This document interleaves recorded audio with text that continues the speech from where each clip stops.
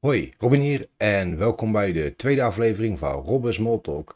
De aflevering waar Tessa en Cas het uh, spel moesten verlaten.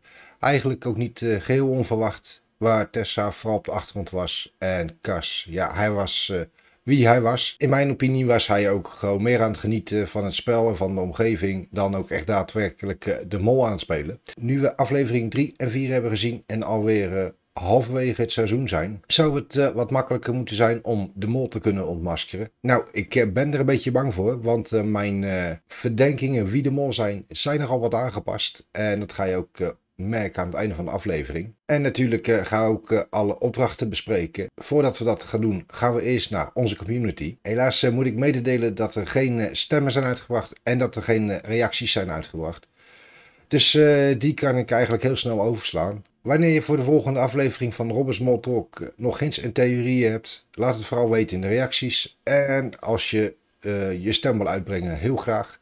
Die kan je vinden in de beschrijving van de video. En ik zal kijken of ik het ook ergens anders kan plaatsen, zodat je wat makkelijker kan stemmen. Dan is het uh, tijd voor de titels van de afleveringen 3 en 4 van Wie is de Mol streaming editie. De titel van aflevering 3 was dezelfde golflengte. Eigenlijk werd hier uh, vooral verwezen naar opdracht 2 van de afleveringen waar ze het spel moesten spelen over de radio. En ook zoals je kon zien in aflevering 4 zaten Nire en Kas echt wel op dezelfde golflengte nadat ze de opdracht hadden gewonnen. En dan hebben we natuurlijk ook uh, de titel van de vierde aflevering, welke genaamd Vliegende Start is. Ja, eigenlijk uh, hoef ik deze niet uh, direct uit te leggen. Het was voornamelijk omdat Nire en Kas de opdracht hadden gewonnen. En daarom dus een vliegende start hadden om in de helikopter te kunnen komen voor de vrijstellingen. Dus gaan we snel naar opdracht 1 van aflevering 3 waarvan de titel Never a Dull Moment was. Ze konden bij deze opdracht 2700 euro verdienen en uiteindelijk hebben ze maar 500 euro gewonnen. Waar ik mij vooral verbaasde over deze opdracht was het gebrek aan communicatie tussen de kandidaten die in het park liepen en de kandidaten die in de controlroom stonden. Natuurlijk, eh, een van de meest toepasselijke momenten was wanneer Timon op zoek naar Kas ging. Met Kas konden we dus geen contact krijgen. En toen dacht ik, ja, we kunnen wel gaan wachten op Kars. Maar dat slaat nergens op.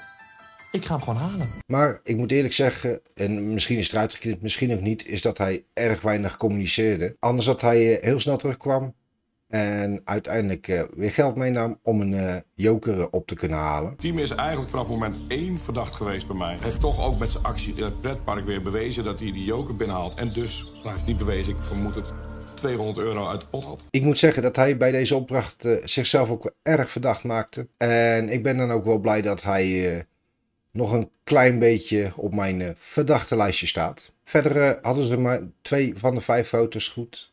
En het lijkt mij dat je in een uur tijd echt veel meer kan doen dan wat ze voor elkaar hebben gekregen. Ze hadden het uh, veel meer geld binnen kunnen halen. Wat ook zou kunnen zijn, is dat het park heel erg groot was, waardoor het uh, best veel tijd kostte om overal doorheen te komen.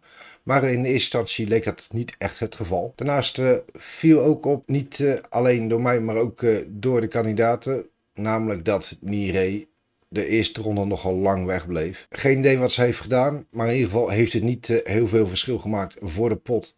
Het enige wat ik wel heb gezien is dat ze volgens mij maar 100 euro in de pot heeft bijgebracht. Dus er is in de tussentijd echt wel wat gebeurd dat ze zoveel geld is verloren. Dan hebben we opdracht 2 genaamd Mol FM. En ik vond dat ze deze opdracht ook wel erg leuk hebben gedaan. En ze konden deze opdracht 1000 euro verdienen wanneer de kandidaten die in de studio zaten op tijd aankwamen bij de kandidaten die in de buitenlucht stonden. Namelijk bij het strand. Zoals uh, elke opdracht die op deze manier is uh, gespeeld, zijn ze niet op tijd binnen en uh, missen ze het geld. En hier waren zeker een aantal opvallende momenten waar ik ook echt wel mijn twijfels over had. Te beginnen met de voicemail die Nire gekozen had voor Kars. Ik uh, twijfelde eigenlijk eerst of het niet Rob DK was, maar die was uiteindelijk voor Jelme bedoeld. Het was eigenlijk wel een opvallende, zowel van Nire als Ben, die in de studio zaten, die ze eigenlijk het antwoord moesten laten geven op de stem die ze op dat moment hoorden op de radio. Er waren een aantal voicemail die echt wel anders klokken klonken dan die twee. En volgens mij hadden ze ook wel meer keuzes dan dat.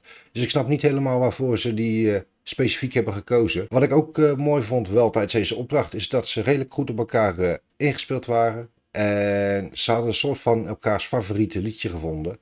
Behalve Timon voor Johan. Je weet bij god niet waarom hij dacht dat dit nummer bij mij hoorde. Het is echt een heel slow nummer. Relaxed om, om gewoon in de auto te luisteren. Maar ja, kom op, een favoriete nummer. Nu moet ik hier wel bij kunnen zeggen dat zowel Timon als Johan heeft uh, kunnen mollen. En als een van hun de mol is, dan zijn ze er echt wel mee weggekomen. En uh, natuurlijk, zoals net al zei, moeten ze de kandidaten binnen 20 minuten vinden die op het strand of naast het strand geparkeerd waren. Ook hier vond ik aan het einde dat Nire nogal vreemd bezig was. Ze was nogal verontwaardigd, want volgens haar hadden ze echt wel hun best gedaan. Zowel Ben als Nire hadden allemaal zoiets van: dit is veel te weinig info. Toen dacht ik, nou. Wij hebben gewoon ons best gedaan. Dan is het uh, tijd voor opdracht 1, aflevering 4, ook wel Genoemd. Waar er uh, 2400 euro gewonnen kon worden wanneer alle vragen op het strand uh, goed beantwoord waren. Maar ja, zoals hier verwacht waren er toch een aantal foute antwoorden, maar hebben ze toch 1450 euro in de pot bijgespeeld. En dit was wel een beetje een vreemde situatie, waar Timon en Johan de vorige opdracht echt wel goed verpest hebben, hebben ze het eigenlijk weer helemaal goed gemaakt door deze opdrachten te winnen.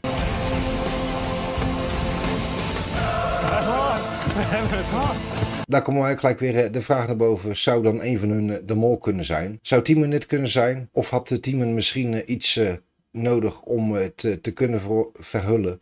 Of had Johan de voorkennis hoe ze de opdrachten moesten uitspelen, waardoor ze sneller eh, naar het einde konden komen. Ik eh, ben eh, benieuwd jullie hierover denken. Laat het weten in de reacties. En dan hebben we ook natuurlijk verder nog Ben en Jelmer die bijna elke vraag fout hadden.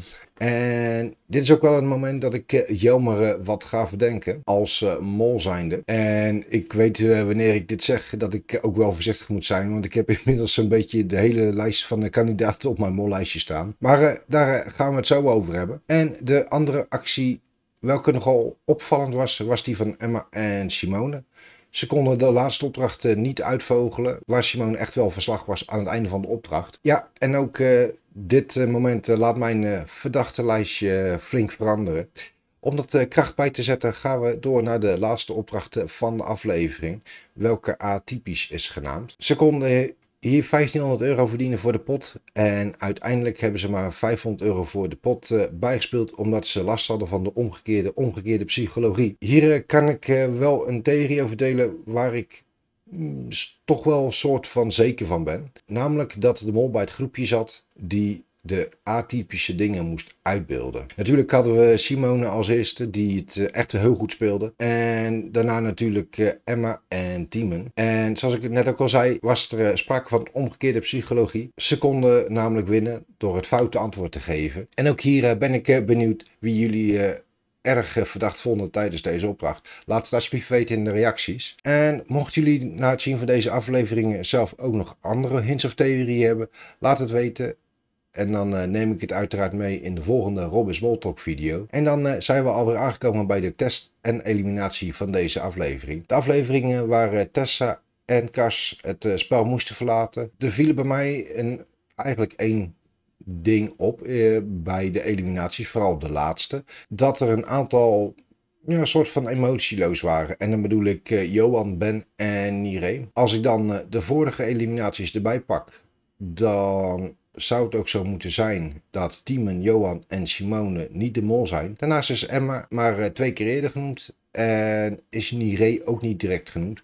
Dus die uh, maakt het ook wel iets verdachter dan uh, wat ik uh, zou willen. Maar goed, zoals ik net al zei, is mijn verdachte lijstje toch wel wat veranderd. Waar ik de vorige keer Ben, Johan en Timon verdacht, ga ik nu de lijst bijna volledig veranderen. Ik hou namelijk Ben nog wel een klein beetje op mijn lijst. Maar in plaats van Johan en Timon zijn Emma en Jelmer erbij gekomen. Eigenlijk omdat Emma misschien wel echt een heel verdrietig is over wat er is gebeurd. Maar als het, als het acteert, dan doet ze toch heel erg goed. En Jelmer is wel erg relaxed bij alle opdrachten. En dat maakt hem natuurlijk ook wel wat uh, meer verdacht. Daarnaast uh, zullen er vast nog wel meer uh, redenen zijn. En een van de redenen die voor mij belangrijk is, ik ga vooral over mijn gevoel.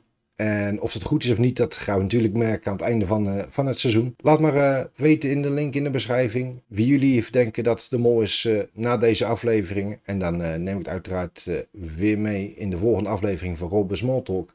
En dat is waar ik het voor nu bij gelaten. Ik hoop dat jullie hebben genoten van deze aflevering.